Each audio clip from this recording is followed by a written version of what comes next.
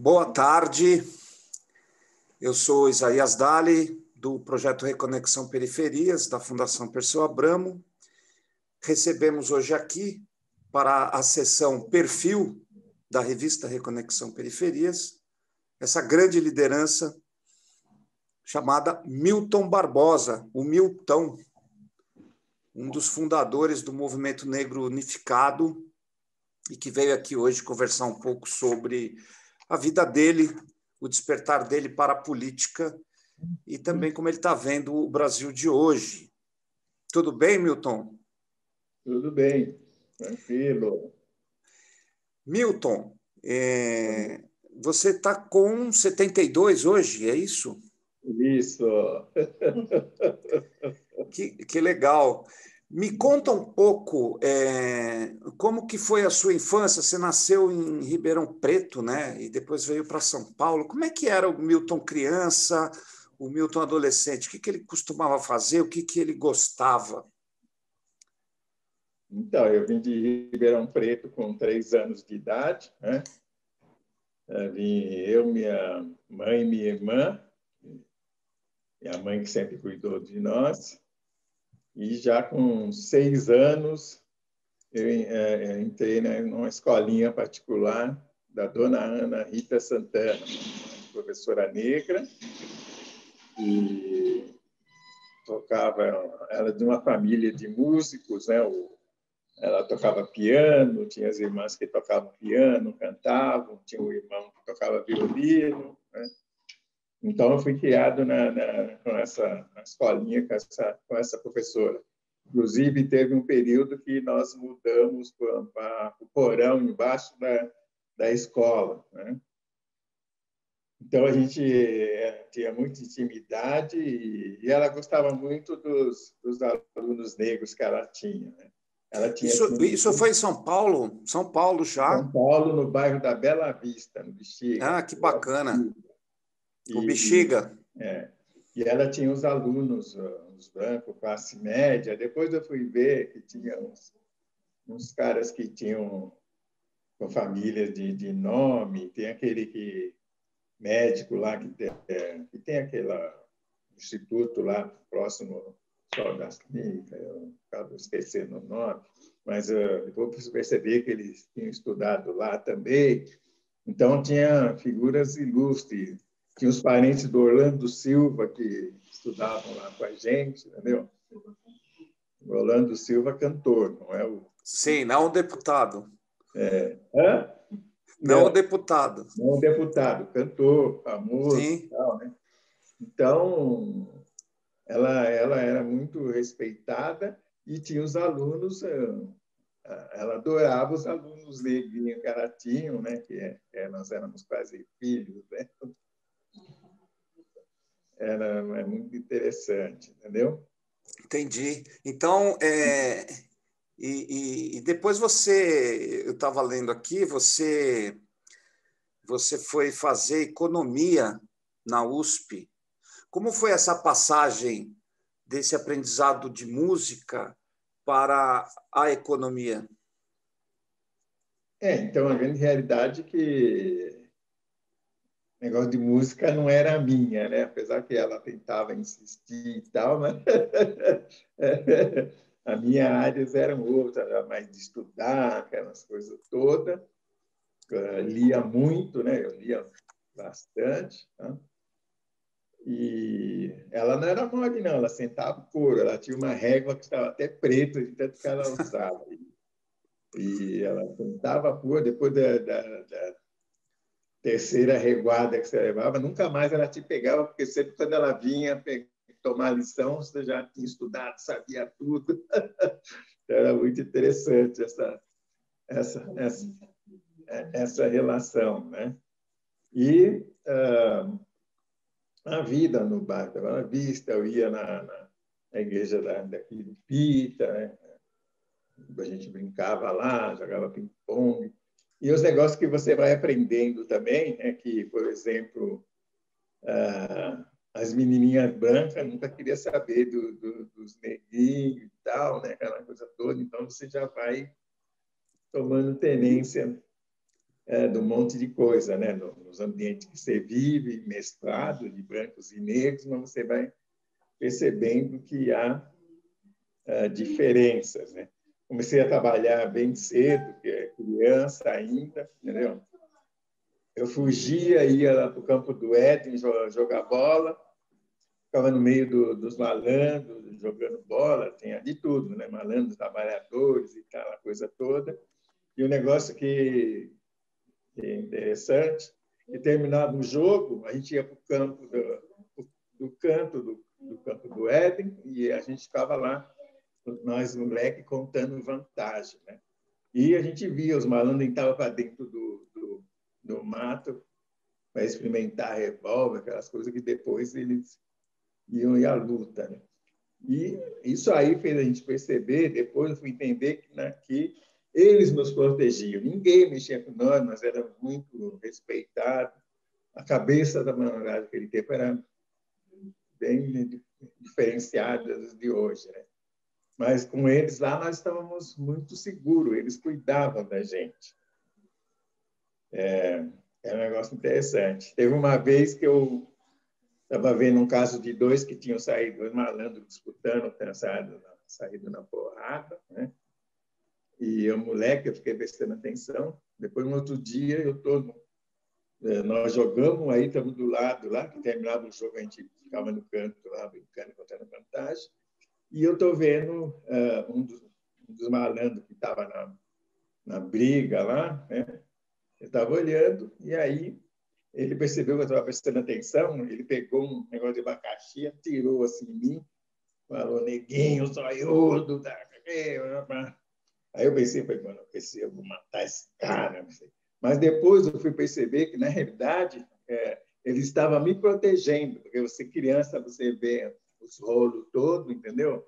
Depois a história vai cima de você. Então, a, a, depois eu fui entender que havia uma proteção. Então, você vai tomando consciência com, com esses fatos que vão acontecendo, né?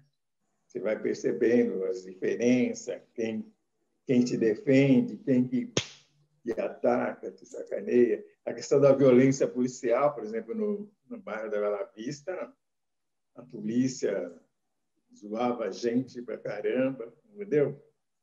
Ah, e aí você vai percebendo as diferenças de tratamento. Tá? Você vai percebendo um pouco o lugar que o mundo quer reservar para cada um. Exatamente. Então, essa coisa vai fazendo você ir tomando consciência das coisas. Fala um pouco e... para mim, Milton, como que era uh, esse essa malandragem? O que era essa malandragem? Era o quê? Futebol, sinuca? Fala um pouco disso. Essa malandragem que você conheceu lá na sua infância. É, um negócio mesclado, tinha de tudo, né? Entendeu? Então, tinha de tudo, tinha, tinha de tudo, tinha não, traficante, de tudo. E, lógico, que tinha muita gente que não tinha nada a ver com nada disso, entendeu? Mas sempre fomos tratados com, com racismo, com violência, entendeu? A, a, polícia, quando vinha, vinha com tudo, a gente vai, você vai percebendo essa diferença de tratamento. Tá?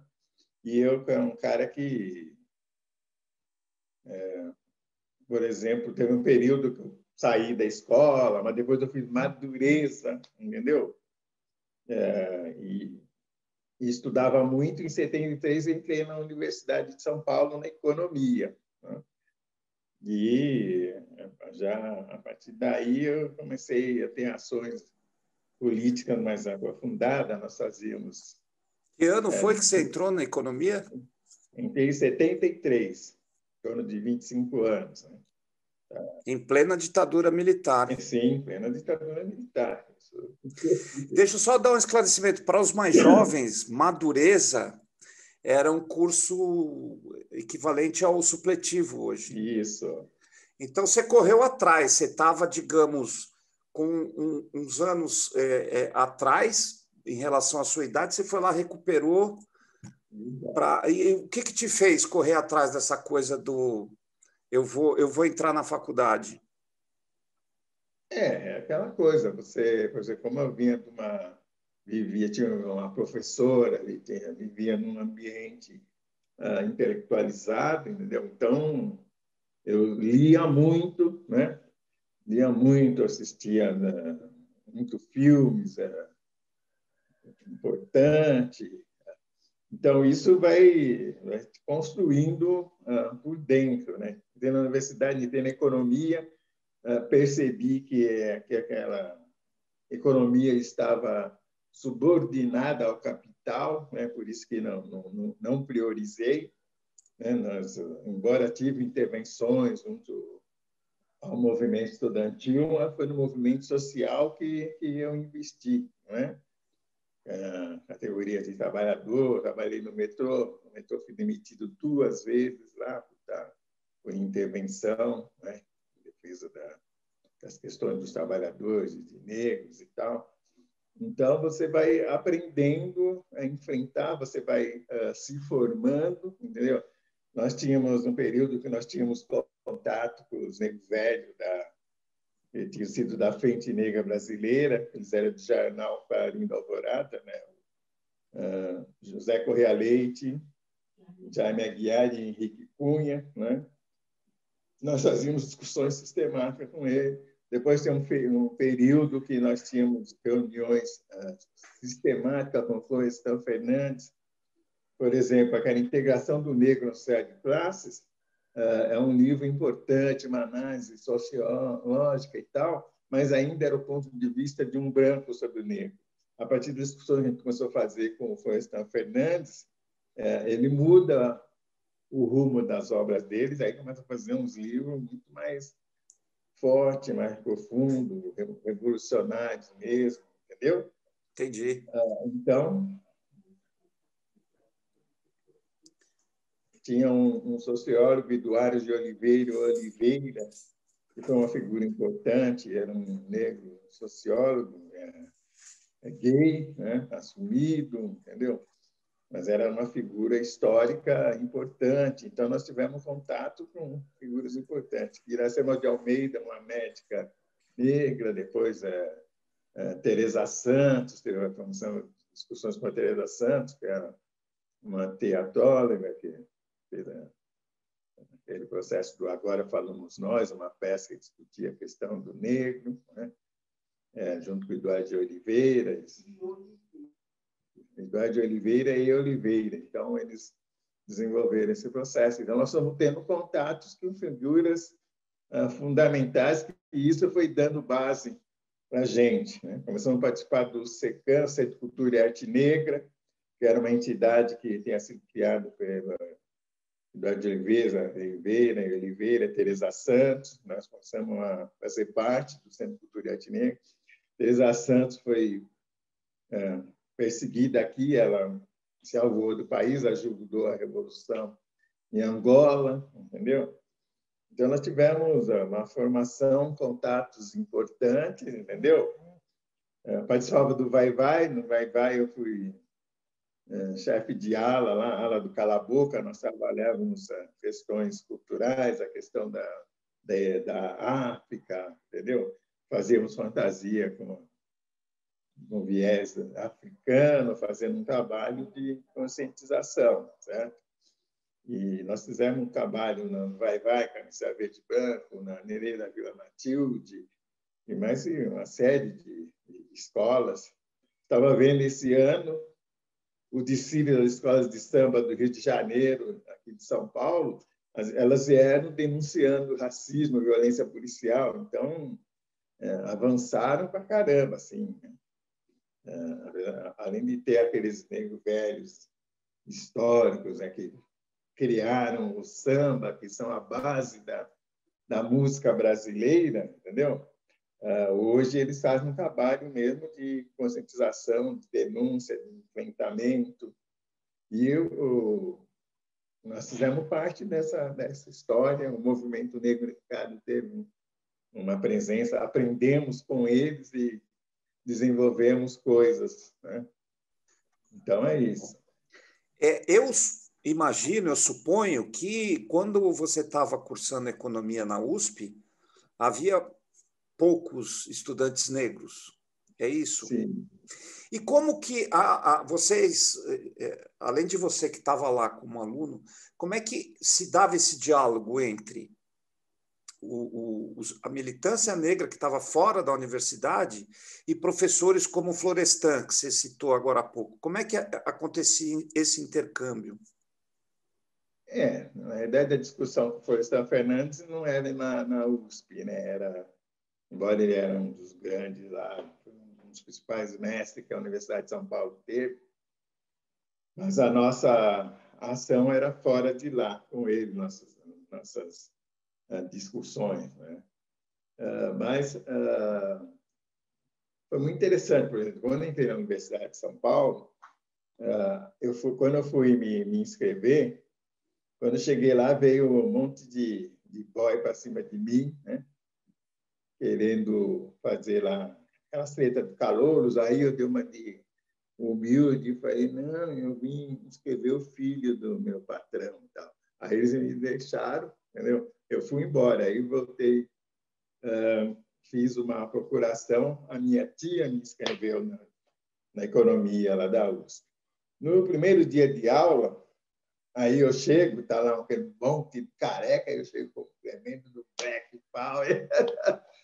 Aí eu olhei os caras, se vier com graça, vou dar porrada. Mas aí eles não mexeram mais comigo. Então, eu, os caras tudo careca, eu de black power. Então, essa já foi a primeira demonstração que eu não estava brincadeira.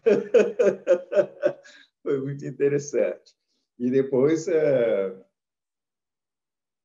comecei a participar do movimento. Né? Por exemplo, uma vez eu vi, é, fui no, no, nós fomos no, no, num lugar que era onde estava o, o material de, que, dos estudantes, que eles é, gravavam as coisas e tal, né? E quando uh, e eles estavam discutindo que a reitoria lá tinha pego né, a, os equipamentos dele. Eu olhei e falei, pô, como é que pode? Os caras pegam o negócio deles e fica por isso mesmo. Aí eu estimulei da gente ir lá buscar, né?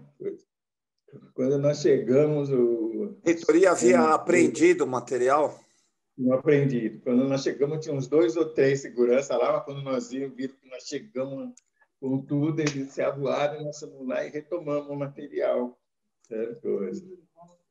Miógrafo elétrico que a gente usava para fazer o nosso jornal Árvore das Palavras, entendeu? É, que nós distribuíamos de 74 a 76 no jornal panfletário.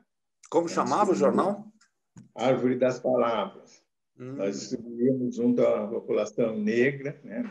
lá no MAP, na, na na liberdade, nos bailes né, negros né, e tal. Na escola de samba, nós distribuímos esse Árvore da Palavra, que foi um, um jornal muito interessante, muito expressivo. Durante 74 a 76, nós distribuímos uh, esse, esse, esse jornal. Né? Você tem então, números dele guardados? Você conseguiu guardar algum exemplar? É, tem algum, alguns que eu tenho, eu tenho que pulsar aí. Mas Legal. tem, assim, é muito interessante. Depois eu vou, depois que a gente falar aqui, fizer essa entrevista, eu, eu vou pedir para você me mostrar, porque eu acho que deve ser bem bacana e são documentos importantes, né? Eu acho que é muito importante preservar e divulgar, eu acho. Certo. Então tinha assim preocupações, é, inclusive logo quando nós entramos também, é, junto com pessoal, aí depois teve um período participei da Liga Operária, né, de linha trotskista, aí nós tínhamos articulação com o pessoal do trabalho, que também era de linha trotskista, tinham saído de dentro da Liga Operária, inclusive, uh, e nós uh, tomamos a direção do centro acadêmico, entendeu? Então, eu tive uma presença rápida na, na USP, mas foi ativa, né? ajudei a participar, a fortalecer a luta assim, do movimento estudantil. A prioridade é, é, para mim foi fazer trabalho nas escolas de samba, nos bairros da periferia, nas favelas, não de ficar dentro da universidade. Já visto que eu é, nem terminei o curso, entendeu? Porque eu priorizei outras ações, outras esferas e é, fui bem sucedido hoje. Eu avalio que sim era, era, era, esse trabalho que você fazia junto aos bailes, às favelas, era um trabalho de risco, porque o poder naquela época considerava esse uma, um trabalho ilegal, um trabalho subversivo. É isso mesmo?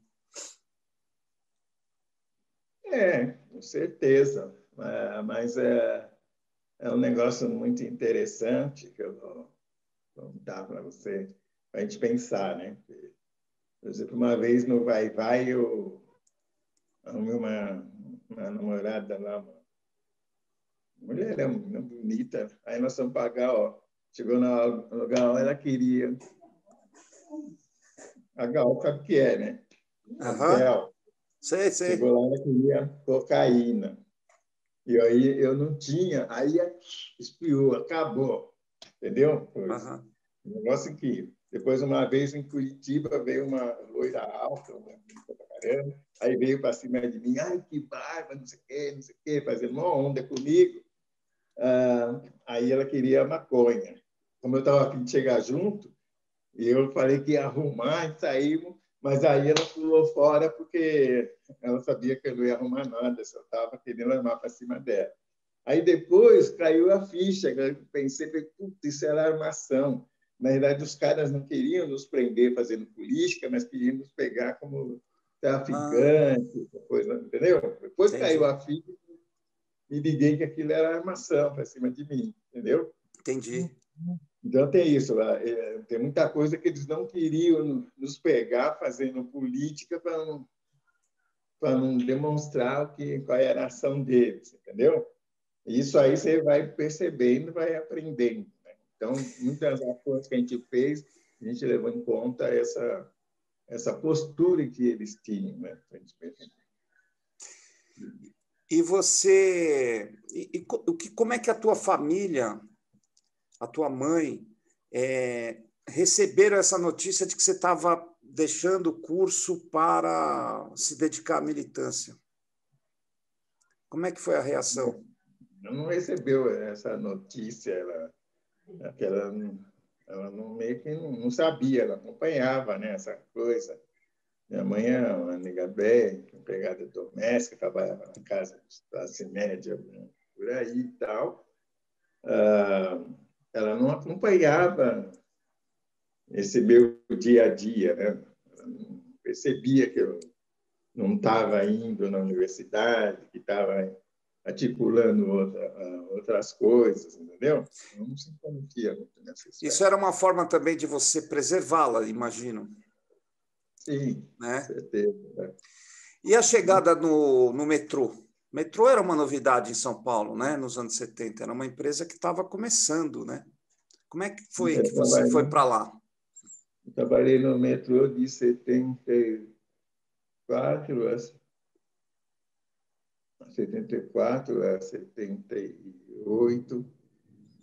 Aí fui demitido, depois mudou o governo, né? quando entrou Franco Montoro, eu voltei, depois do, é, eu fui demitido a primeira vez pelo Maluf, o governo do Maluf. Depois voltei no, no governo do, do, Montoro, né? É, depois, é, no governo Quest, eu fui demitido é, outra vez. Então, fui demitido duas vezes lá no, no metrô. Mas é, desenvolvi é, trabalhos, é, a primeira comissão de negros de, de nós criamos foi lá no, no sindicato dos metroviários, né? Nossa, era associação de funcionários, depois virou sindicato do metroviário. Então nós é, criamos lá uh, e surgiu figura. O Walter Silvério, por exemplo, era lá do metroviário comigo lá. Não sei se você conhece o Walter Silvério, um ilustre, professor intelectual, respeitado. Também foi uma surpresa quando Falei, putz, valeu o trampo, né? então tem isso aí, tem vários quadros que, que se desenvolve que é um investimento que se, se faz na luta, né? Entendeu? Sim. E, e então o teu trabalho já já já estava em pleno desenvolvimento, né? Esse trabalho político. E aí surge a ideia é, de criar o movimento negro unificado. Sim. Como foi isso? Quando é que é, como é que aconteceu de você e os seus companheiros ali perceberem que era hora de criar uma uma, uma organização que reunisse várias partes do país. E por que, que vocês deram esse nome, Movimento Negro Unificado? Você, você tem isso na memória? Conta para gente. É, havia necessidade de se criar um movimento que unificasse. Então, nós criamos o Movimento Unificado contra a Discriminação Racial. E, por exemplo, teve o caso do, do, do, do Aldo Silveira da Luz, trabalhador, pai de família, foi preso e torturado no 44º Distrito Policial de Guaianazes, pelo delegado Alberto Abdala, ah, da acusação de que tinha roubado frutas na feira. E isso uh, nos deixou revoltados. Tinha o Rafael Pinto, ele é, fazia parte do grupo negro socialista, que era uma garotada, que era um, ainda fruto lá da Liga Operária. Né? Uh, então, uh, tinha o caso de quatro garotos do time infantil de voleibol de regatas Tietê, que foram proibidos de entrar na piscina. O segurança falou: não, você deixar esses meninos entrar na piscina, imediatamente sem uh, sócios saem fora e tal. Então, o técnico ficou revoltado e levou para essa garotada uh, essa questão. Né? O Rafael Pinto, que era o Paulo Silveira da Luz, era primo do Rafael Pinto, inclusive.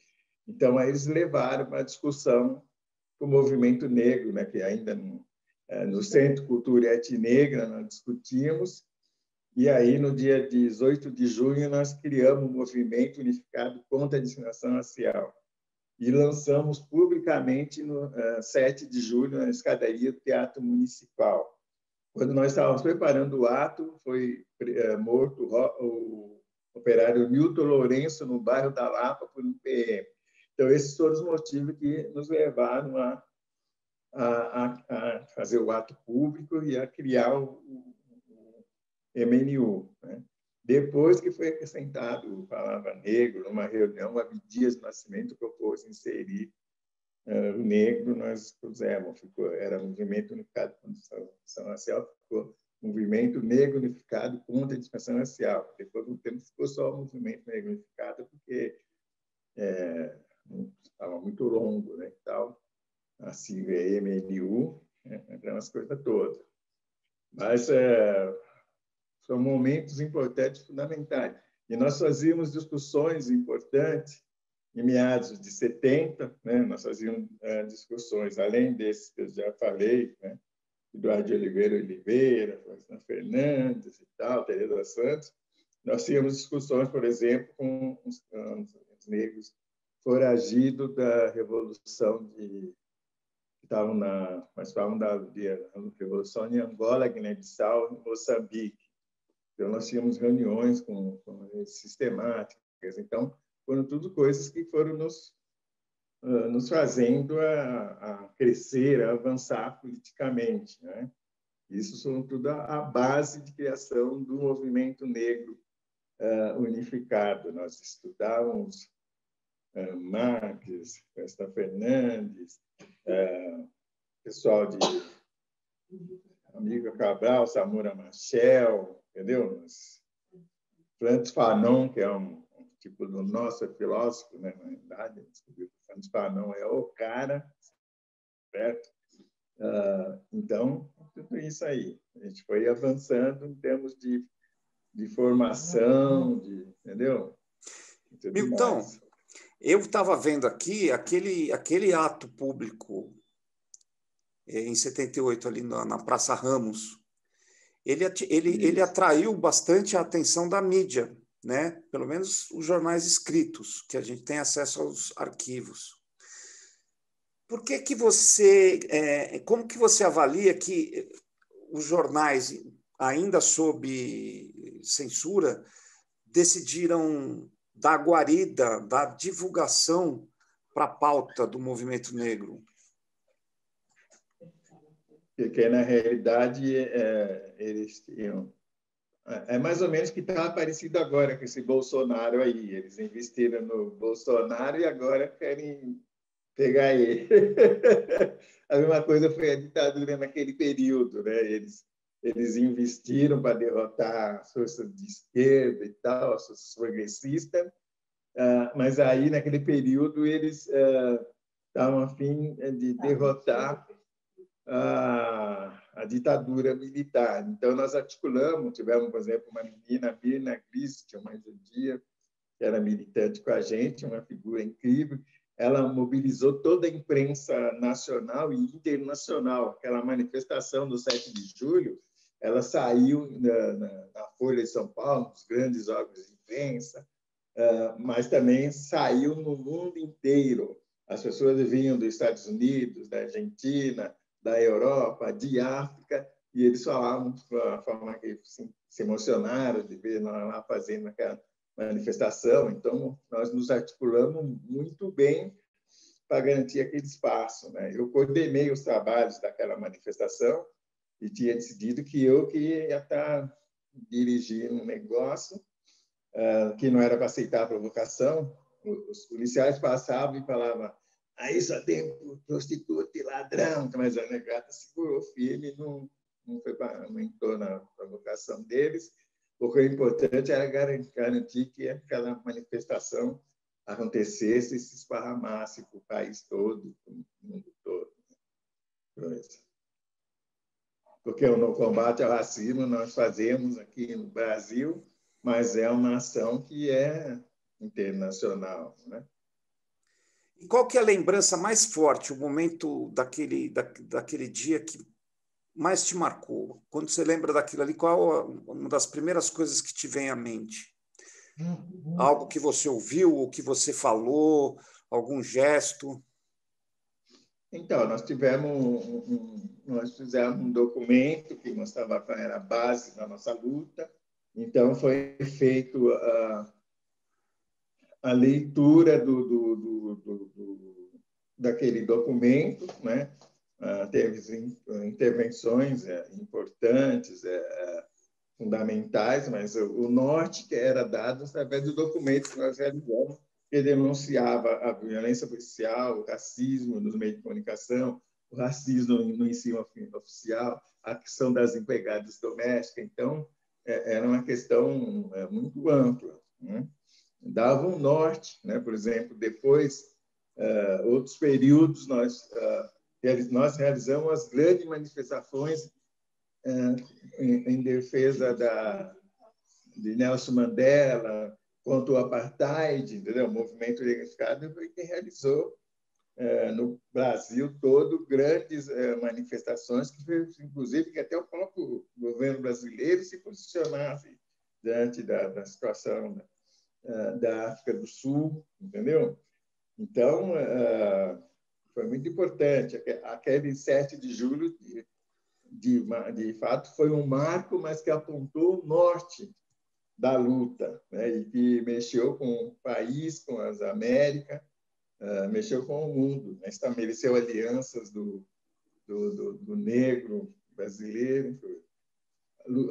Articulamos muito para que as forças progressistas no Brasil tomassem consciência do que tinha que ser feito, mas, infelizmente, o racismo introjetado atrapalhou, porque senão a esquerda hoje teria muito mais avançada, entendeu? Ah, e com certeza nós teríamos construído uh, o socialismo no, Brasil, nas Américas, porque o Brasil, mas é, infelizmente a esquerda tem o racismo projetado, então é, foi meio difícil. Hoje eles estão tomando consciência de que é, essa questão do, combate ao racismo é de fundamental importância para se transformar um mundo novo, né? É... Isso é muito, muito importante, isso que você está dizendo, Milton. É, você acredita que essa tomada de posição que, segundo você, está ocorrendo agora, é, se tivesse acontecido desde aquela época, final dos anos 70, começo dos anos 80, é, a luta da esquerda teria evoluído mais, estaria mais consistente? Com certeza, o mundo hoje seria socialista, porque o, o, o Brasil tem um peso fundamental pelo contingente populacional, pela sua posição diante do globo, entendeu? Mas, infelizmente, foi complicado, né? Eles, ah, infelizmente, não, não, perceberam porque o racismo está introjetado. Isso é um processo muito profundo, entendeu? Hoje estão começando a, a avançar nessa coisa, mas naquele momento teria sido muito mais importante essa essa essa descoberta, né? Necessidade de enfrentar o racismo. O, o, o capitalismo que surge na Europa avançou sobre a humanidade, invadiu a, a África, a Ásia, as Américas, entendeu?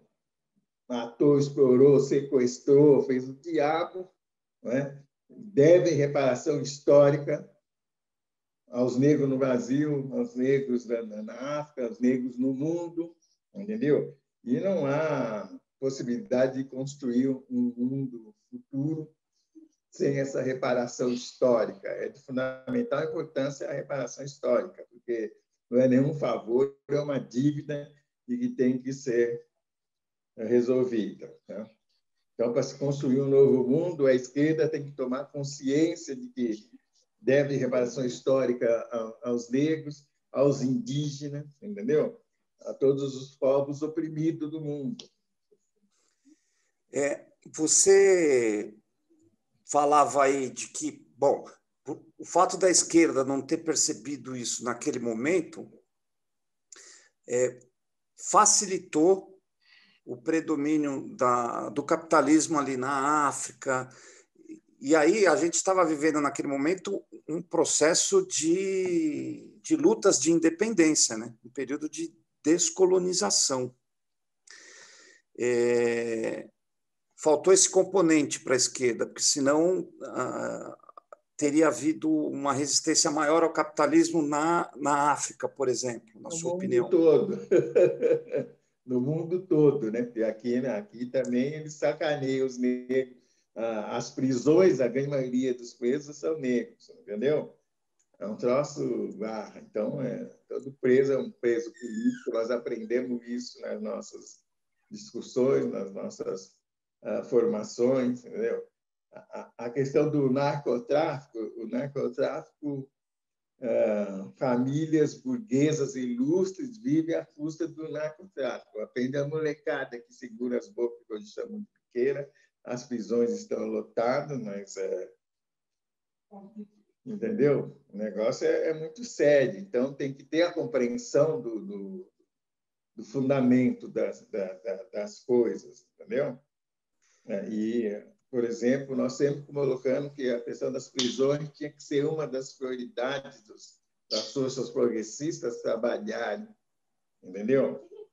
Mas não, eles se subordinam a visões burguesas que manipulam, manipulação dos meios de comunicação.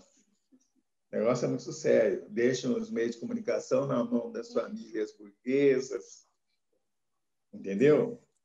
Entendi. Milton, você, você falava há pouco que acredita que está começando a haver uma compreensão por parte da esquerda da, da importância crucial dessa questão é, racial, da, da, do combate ao, ao racismo.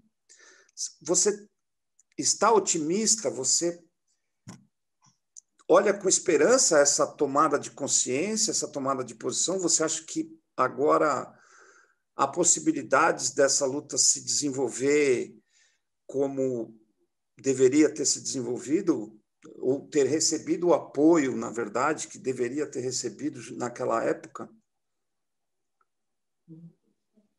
com certeza uh, vai uh, avançar. Mesmo porque nós fizemos todo um trabalho numa, numa juventude negra importante. Então, hoje tem quadros incríveis aí desenvolvendo trabalho. E também tem setores da população não negra que avançou, entendeu? Então, uh, nós contamos com, com, com esse avanço, né?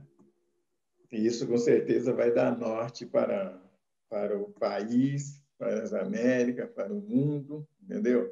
A extrema-direita, ela, ela vem e tira conquistas, mas ela tem esse papel político de provocar e tem que ser derrotada, não é? Então, com certeza, a situação que o país está passando hoje vai se avançar, vamos entrar num outro nível, entendeu? É, regiões importantes vão voltar a ter forças progressistas uh, dando norte. Então, uh, é, esse é o caminho para o Brasil, para as Américas, para o mundo, com certeza. Então, nós vamos viver um momento uh, rico de transformação. Tá? Milton, Milton, como é carinhosamente conhecido,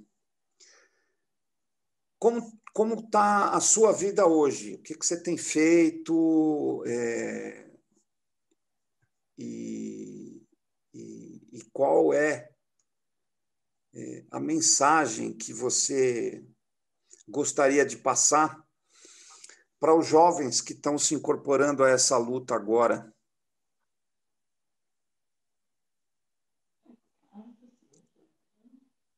É, eu estou estou aposentado, né? É, estou em casa com essa coisa dessa dessa pandemia que não é mole, então tenho estudado muito pouco.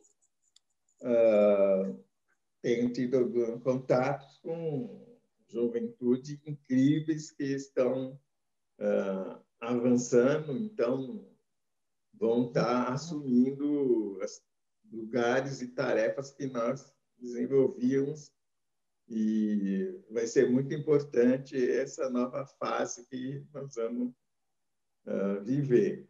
Mas uh, tem que ter ações importantes na, na, na, área de comunicação, tem que ter ações uh, importantes na, na, área cultural. Né? esse país, os setores reacionários e tal, eles tentam nos roubar, tentam uh, nos usar, não é? Então, nós temos que tomar consciência que nós temos que estar atentos, temos que enfrentá-los, temos que uh, derrotá-los, entendeu? E garantir a construção de um caminho de dignidade para todas as pessoas, uh, independente de, de raça, né? e tudo mais. É, então, é isso, nós temos que aprofundar as discussões, levando em conta as diferenças e como são usadas as diferenças para aqueles que dominam para nos explorar. Tá? E realmente trabalhamos para enriquecer culturalmente né?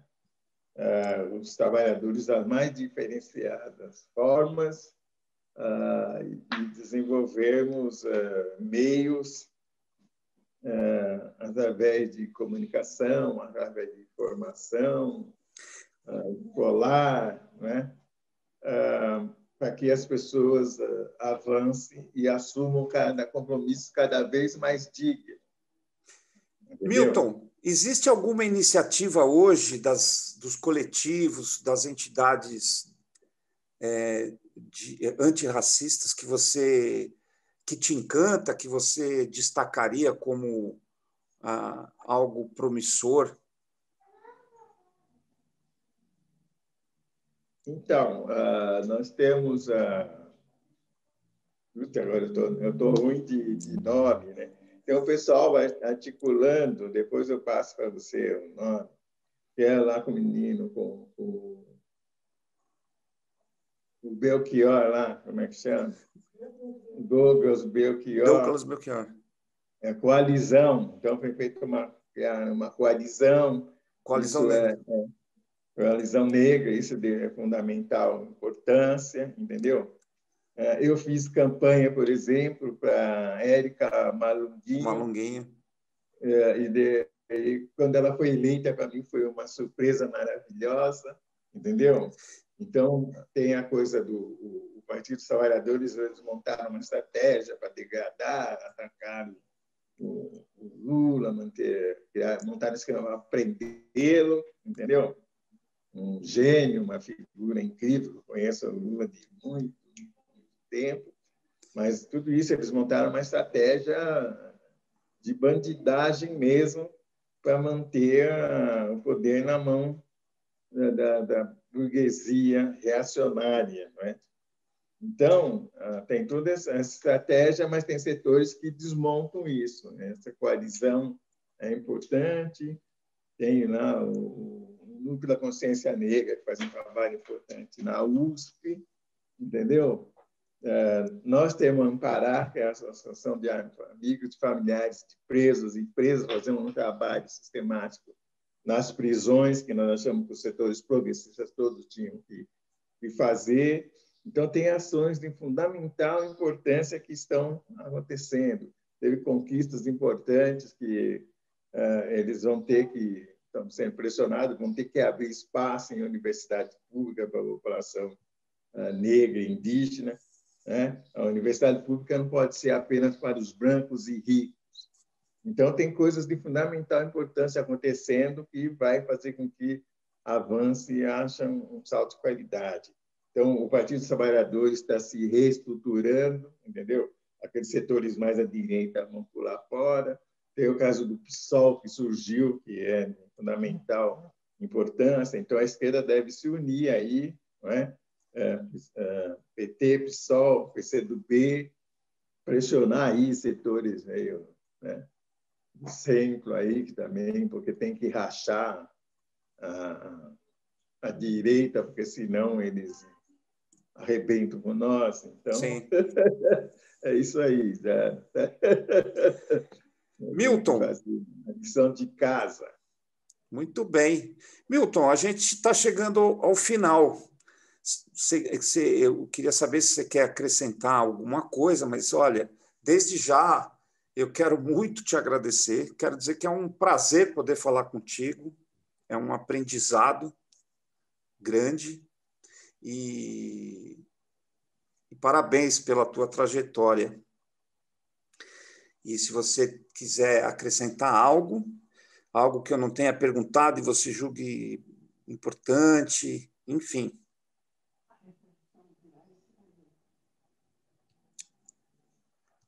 É, é. Minha nega está me passando linha aqui. A revolução virá e será negra. Né?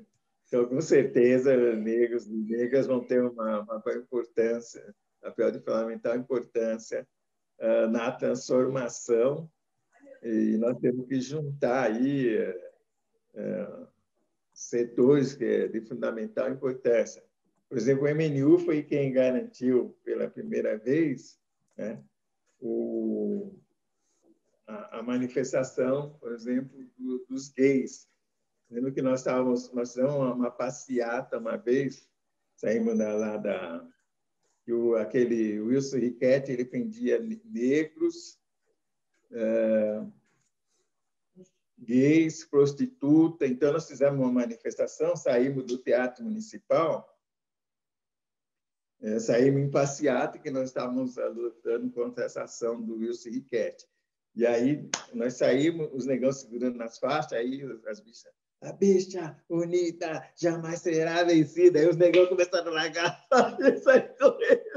Aí eu tive que ir atrás, falei, deixa que eu converse com eles. Aí conversamos, falei, não, eles não vão usar mais palavras de ordem uh, específica, só geral e tal. Então os negões pegaram as faixas, mas não adiantou. A bicha, Aí, passando em frente, o 69, lá na Júlio Mesquita, desce, desce a Fruta Vieira, nós estamos lá para o Arocho, terminamos a manifestação lá. Uh, tinha um, um, um prédio que estava um, um senhorzinho, um branquinho de estava é, com uma prostituta lá, ela pulou a janela, foi para uma, uma marquise e ficou com ele pulando, ele de camiseta, de camiseta e cueca samba canção, né? Aí ela ficou lá pulando com ele, e aí o pessoal, maravilhosa, maravilhosa. Foi muito legal. Mas foi importante, porque nós demos força para o movimento gay, para um monte de setores, entendeu? E nós entendimos de fundamental a importância da, de colocar as bandeiras em frente. Então, essa ação progressista, com certeza, vai avançar, vai tomar o país. Né? Você está vendo aí que foram eleitas aí negras e tal, os caras estão atacando, ameaçaram de morte a menina lá na coisa, mataram lá o rapaz lá no Carrefour de Porto Alegre. Então, ações fundamentais que nós temos que ir, ir para cima. Uh, os progressistas têm que tomar consciência que tem que ter um enfrentamento. Então, nós vamos construir um rumo para a construção de uma sociedade progressista sem exploração. E é isso aí. Muito bem. Milton Barbosa está otimista, esperançoso. Milton, muito obrigado pela sua presença, pela sua entrevista, pelo tempo, pelas, pelo seu bom humor, por essas histórias tão incríveis.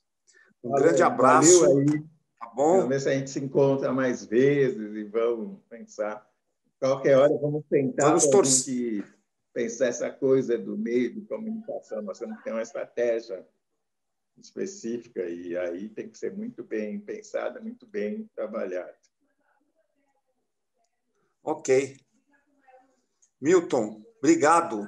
Um forte abraço para você. Alô, valeu. Força aí.